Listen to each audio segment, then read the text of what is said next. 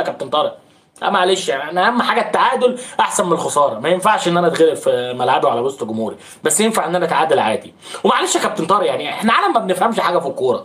أنا راجل ما بفهمش حاجة في الكورة. أنا محتاج أفهم ليه حضرتك كل ماتش كل ماتش يا كابتن طارق كل ماتش بتغير مركز ستة بمركز ستة. معلش يعني.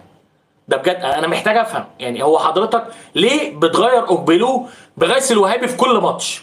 يعني ماتش بيلعب غيث الوهابي تطلعه وتنزل اوجبيلو اوجبيلو بيلعب تطلعه وتنزل غيث الوهابي. التغييرة دي ما بتفيدكش في حاجة. والله ما بتفيدك في حاجة. يقول لك أصل هو دور تنشيطي. تنشيطي إيه؟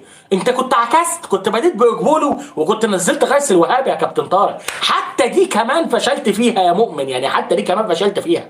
يعني انت أصلا كنت ممكن تبدأ باوجبولو ويوم ما تتزنق تنزل غيث الوهابي. ليه؟ عشان خاطر غيث الوهابي كورته حلوة شوية عن اوجبلو يعني اوجبلو كورته سيئة قوي سيئة لدرجة إن هو بيستسهل وبيلعب